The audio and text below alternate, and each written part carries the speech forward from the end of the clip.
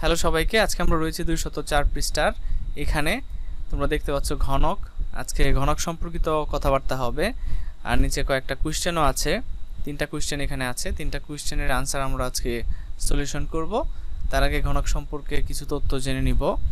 তো এখানে লিখেছে, দেখো যে তুমি এমন একটা বাক্স নিলে যার মাত্রাগুলো সমান। অর্থাৎ দৈর্ঘ্য প্রস্থ তিনটাই কি হবে? সমান হবে। বাক্সটির দৈর্ঘ্য, প্রস্থ, উচ্চতা সমান হলে এরূপ আকৃতিকে কি বলবে?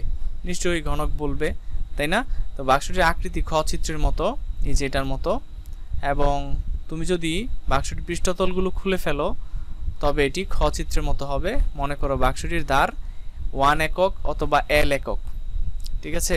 তো এটাকে এল এর মতো দেখা যাচ্ছে, এল একক। প্রত্যেকটাতে ধা মানে ধারগুলোকে এল দিয়া চিহ্নিত করা আছে এখানে। তার আগে কয়েকটা ছবি তোমাদের সাথে শেয়ার করি। দেখো, এখানে একটা ঘনক আছে। তো এই যে এটা, আমার কার্সরটা বা মাউসটা যে লড়তেছে, সেটা দেখতেছো? তো এইগুলো কিন্তু এক একটা ধার। এই যে এক একটা ধার। ভালো করে বুঝো। এই যে ধার। ঠিক আছে? আবার এই ধারগুলো কয়টা? বারোটা কিন্তু ধার থাকে একটা গণকের এবং আটটা থাকে হচ্ছে কোনা বা শীর্ষ, এই যে এটা কোনা এই যে কোনা এরকম আটটা আছে। এবং পৃষ্ঠতল মানে পিঠ, এইটা একটা পিঠ, এইটা একটা পিঠ, নিচে আছে, উপরে আছে, এই পাশে আছে, এই পাশে আছে।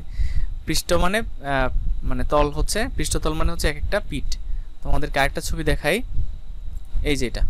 দেখো যে উপরের একটা তল আর কি, তোমার বাসায় হয়তো হয়তো বা রুবিক্স কিউব থাকতে পারে। তো উপরের তলটা এবং নিচের তলটাকে একটা কাটালি কালার, এটা কাটা, কাটালি কালারই তো নাকি?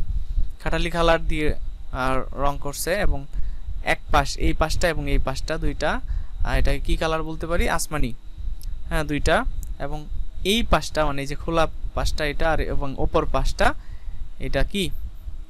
অন্য কালার তো এভাবে দুই জোড়া করে তিন জোড়া কালার আছে যে যেগুলোর মানে এইটা আর এইটা একই রকম, এইটা এবং এইটা একই রকম, এইটা এবং এইটা একই রকম। যেহেতু এটা ঘনক, এক মাপের, তো সবগুলা একই রকম, ওকে? আচ্ছা।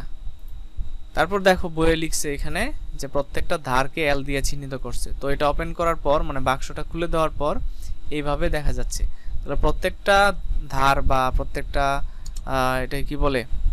যে বর্গের যে মাপ, এক বাহুর মাপ সেম সেম সবগুলা কি সেম অর্থাৎ ধারগুলো এল একক। তাহলে নিশ্চয়ই এই একটা বর্গ, আরেকটা বর্গ আরেকটা বর্গ আরেকটা বর্গ। প্রত্যেকটা বর্গের যুগফলই হবে কি? সমগ্র তলের ক্ষেত্রফল। ঠিক আছে? আমরা এখন এই তিনটা প্রশ্নের সলিউশন করি। সলিউশন করে তারপর আমরা আসতেছি আবার।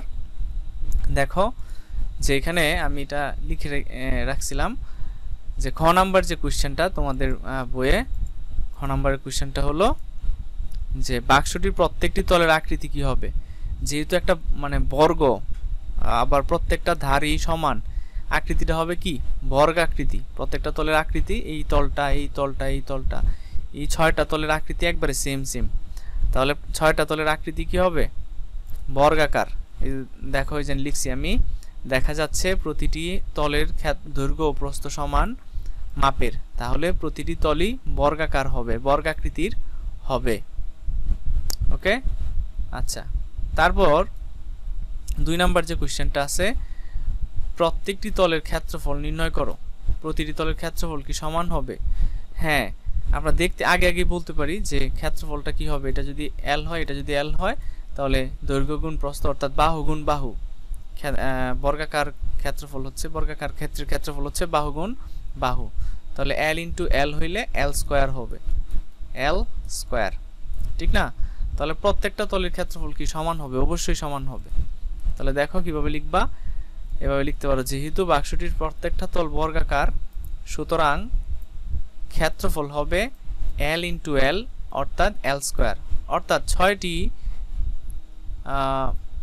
ছয়টি, ছয়টির, অর্থাৎ সবগুলো তলের মাপই সমান হবে। ছয়টির দিবা, অন্তস্থ র দিবা মানে বয়শূন্য র দিবা। র দিয়া ছয়টির, অর্থাৎ সবগুলো তলের মাপই কি হবে? সমান হবে। তারপর দেখো যে বাক্সটি সমগ্র তলের ক্ষেত্রফল নির্ণয় করো। যেহেতু ছয়টা আছে, বর্গ কয়টা? ছয়টা না? ছয়টা যেহেতু বর্গ আছে, তাহলে একটার মাপের সাথে ছয় গুণ করে দিলেই সমগ্র তলের ক্ষেত্রফল আমরা নির্ণয় করে ফেলতে পারব। ঠিক আছে? দেখো কীভাবে লিখবা। যে, খ হতে পাই প্রতিটি তলের ক্ষেত্রফল এল স্কোয়ার বর্গ একক। সুতরাং বাক্সটির সমগ্র তলের ক্ষেত্রফল হবে ছয়টি তলের ক্ষেত্রফলের যোগফল। তাহলে L square L square L square L square L square L square ছয়টা এল স্কোয়ার আছে, তাই সিক্স এল স্কোয়ার বর্গ একক। এটাই হচ্ছে সমগ্র তলের ক্ষেত্রফল। আশা করি বুঝতে পেরেছ? তারপরে দেখো লেখা আছে, তাহলে আমরা বলতে পারি একটি ঘনকের ধার এল একক হলে ঘনকটি সমগ্র তলের ক্ষেত্রফল হবে সিক্স এল স্কোয়ার বর্গ একক। তো আজকে আমরা এই পর্যন্তই থাকব। আগামী দিন এখানকার যে একক কাজটা আছে, সেটা করে নিব যে মিনতি কাগজ দ্বারা পাশের ঘনবস্তুর বস্তু আকৃতির বাক্স দুটি তৈরি করে এবং রবিনের অঙ্ক। ঠিক আছে? ধন্যবাদ।